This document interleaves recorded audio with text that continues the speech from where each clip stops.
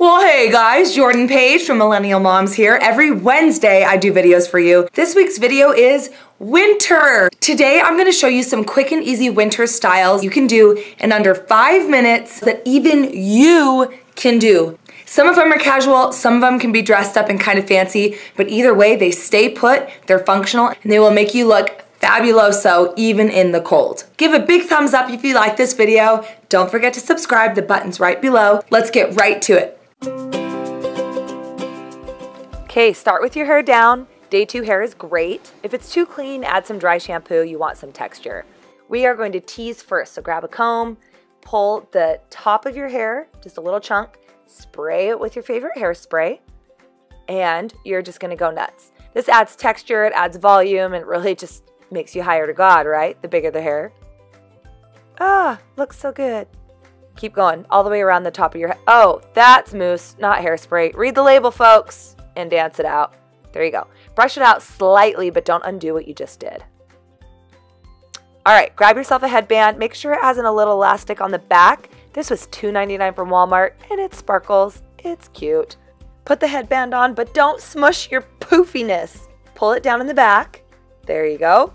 You're gonna grab your hair, and all you're gonna do, you ready? You ready? Tuck it in. That's it. Just tuck it in. Make sure the ends eventually get in there, but do those last, and just keep rolling. Hurry before the kids come. You don't even need a mirror.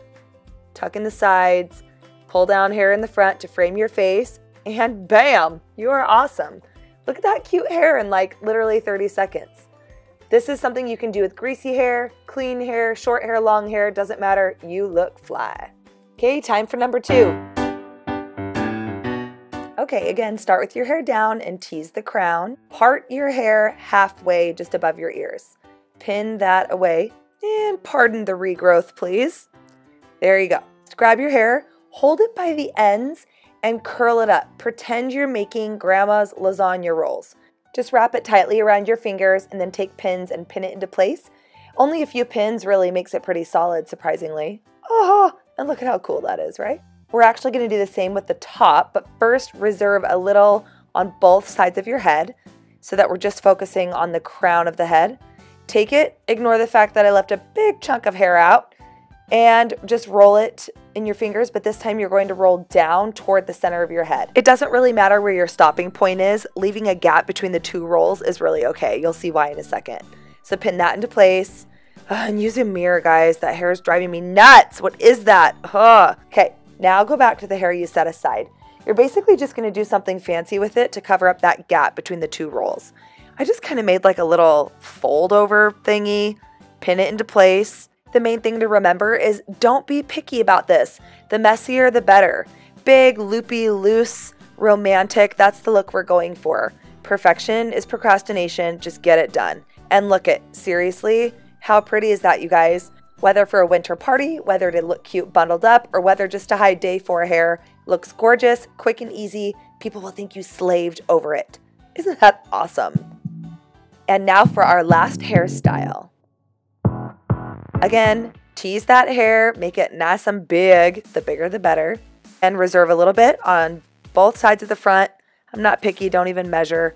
Put the rest in a messy bun in the back. My messy buns are 100% different 100% of the time. Just go with it. If you don't like it, you can always take bobby pins and kind of pin it into place where you do like it. That's the beauty of a messy bun. Now French braid one part of the front of your hair. I am so challenged with braiding. I promise if I can do this, you can do this. And again, messy is good. Embrace it. Just go with it. It doesn't have to be perfect. See? Wrap it under the bun and pin it into place on the other side. And then do the same on the other side. Oh my gosh, I have no mirror. I have no mirror. Let's start over.